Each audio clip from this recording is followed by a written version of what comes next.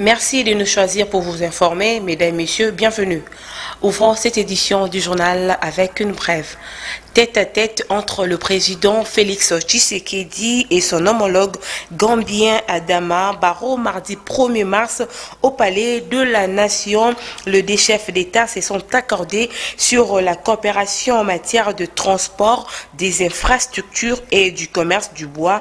La prochaine étape consistera sans doute à mobiliser le dégouvernement afin de concrétiser la détermination de deux pays à renforcer cette coopération en bilatéral à travers des accords commerciaux. Près de 200 Congolais se sont asilés en Pologne, fuyant la guerre en Ukraine suite à l'invasion militaire russe. Commentaire. Les diplomates européens ont laissé attendre que toute personne désirant quitter l'Ukraine envahie par la Russie doit pour le faire sans aucune discrimination. Jean-Marc Châtaignier, ambassadeur de l'Union européenne en République démocratique du Congo, l'a annoncé sur Twitter en réaction à plusieurs déclarations condamnant le mauvais traitement de réfugiés africains à la frontière ukrainienne. Alerté par ces informations, nous avons saisi le parti concerné. Les évacuations sont en cours. 200 Congolais ont déjà pu trouver refuge en Pologne. Le gouvernement congolais a mûri sa stratégie d'évacuation de ses ressortissants. Le vice-premier ministre aux Affaires étrangères Christophe Lutundula reçoit mardi l'ambassadeur de Pologne en poste à Kinshasa, 24 heures après avoir échangé avec Alexis, les diplomates de la Fédération russe. La discrimination des Africains en Ukraine, Martin Fayoulou, président de l'ECD, condamne et appelle à un traitement digne des Africains. Commentaire de Philippe Voupi.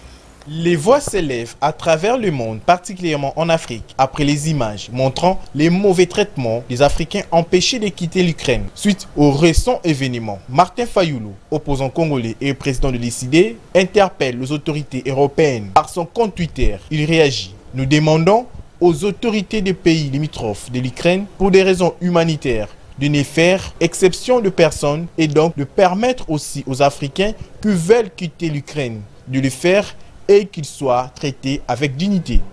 À son tour, l'Union africaine n'est pas restée inacte face à cette discrimination. Dans un communiqué rendu public lundi par les biais du chef de l'État sénégalais, président en exercice de l'Union africaine et le président de la commission de l'UIA, Moussa Faki Mahama, condamne le mauvais traitement infligé à plusieurs citoyens africains se trouvant du côté de la frontière ukrainienne. Changeons de chapitre, la grève des corps académiques des universités publiques en République démocratique du Congo, la représentation des étudiants du Congo organisera une marche des protestations jeudi prochain pour exiger la reprise des cours. Philippe Mvoupi nous en dit plus. À travers une correspondance, la représentation des étudiants du Congo, REC en sigle, informe les différentes autorités de ville du pays de l'organisation d'une marche pacifique en date du jeudi 3 mars sur toute l'étendue de la République démocratique du Congo et à Kinshasa. Cette marche des protestations aura pour objectif d'exiger la reprise immédiate des activités académiques et c'est dans le seul souci de sauver l'année académique et défendre leurs droits, conformément aux articles 42 et 43 de la Constitution, d'après cette correspondance du REC adressée aux autorités, notamment le gouverneur de la ville de Kinshasa. La marche de Bitera à la place des évolués pour chiter au palais de la nation. Encore une brève dans ce journal. Quatre membres d'une famille ont perdu la vie ce mardi 1er euh, mars au quartier Ndanou, euh, dans la commune de Limité, plus précisément au camp Bia. Selon le témoin, la forte pluie euh, qui s'est abattue dans la nuit de lundi à ce mardi a provoqué les inondations et plusieurs dégâts matériels. Il s'agit d'un père de famille qui a constaté que sa maison était inondée 3h30 euh, pendant la pluie. Il voulait évacuer la maison avec ses enfants, mais malheureusement, il a été électrocuté avec ses deux enfants et sa belle-sœur. Les habitants du quartier Ndano, dans la commune des Limété, font face à une crise humanitaire euh, depuis la pluie diluvienne qui s'est abattue dans la nuit euh, du mardi 1er mars. Ils en appellent à une assistance urgente des autorités. Images commentaires. El Anomar, les habitants du quartier Ndano, dans la commune des Limété, ne supportent plus ces calvaires, inondations odeur nauséabonde venant de déchets de différentes entreprises. Les ruelles sont envahies par le zoo. Je ne m'attendais pas à voir ça comme ça. Vu que d'où je viens, j'étais à Lumbashi, mais je n'ai jamais vu des quartiers pareils, avec ces genres de saleté, avec ces genres d'eau. Bon, ça m'a beaucoup étonné. Je me disais, je croyais qu'il y a à Kinshasa, donc il devait avoir du, des goudrons partout, par-ci, par-là, mais je me suis rendu compte que Kinshasa, c'est comme un village et tout. En tout cas, s'ils sont là, c'est juste pour nous. Mais en voyant ça, on dirait qu'ils ne sont en train de rien faire. Ta quartier, depuis ton beau temps, à arabu. président yaka awa donc ayaka kaka boye mpona tour abeta tour azonga na ye faci beton a moto totyelaki miso na congo mpenza totyelaki miso faci beton tobi soki akoti makambo ekosalema te ngai namoni ke makambo moko ya soni makambo moko ya soni oyo oyo akokisa biso soni na mboka. Ngai naza mwana ya ya bwende nauti bwende nalobaka kinshasa kinshasa tokuta nde na awa makadame tokuta awa nzoka kisasa nde salite salite. Oyo nakondima te oyo nde kutu place tokosumbela yango nyei faci beton nkombo ya faci beton eza président de la république. Beton seke suka Le caniveau sont au quartier Bissungo dans la commune de Bonda Lungwa suite à son manque d'entretien en kirage. Abdul Mavimba était sur place. Quartier Bisengo, dans la commune de Bandalungwa, comme les images démontrent, cette inondation d'eau de pluie a été causée par l'état de caniveau bouché, difficile à l'eau de couler.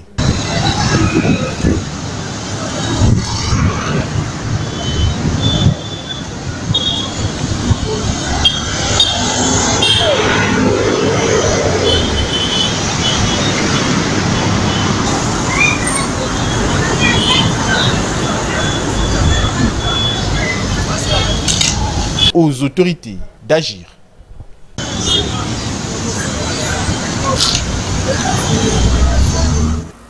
Pénurie d'eau potable dans la commune de Ngiringiri vers la direction Sayo et Birmanie, la population osleton. Abdul Mavimba.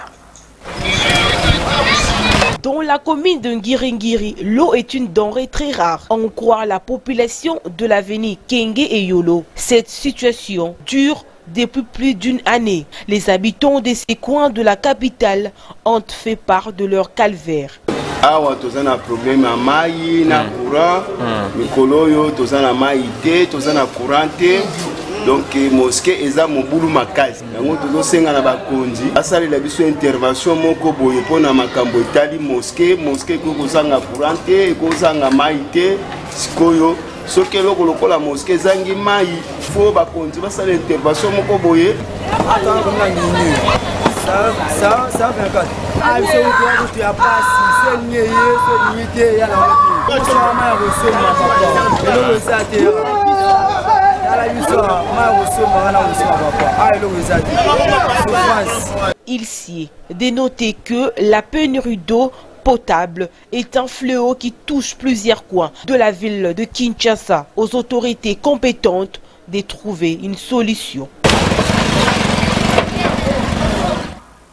Affaire François Béa, un collectif de défenseurs de droits de l'homme a tenu un point de presse ce mardi 1er mars au CEPAS dans la commune de la Gombe pour exiger le respect de procédures de la détention de ces de ces ex-conseillers spéciaux du chef de l'État en matière de sécurité, Philippe Mvoupi, était sur place.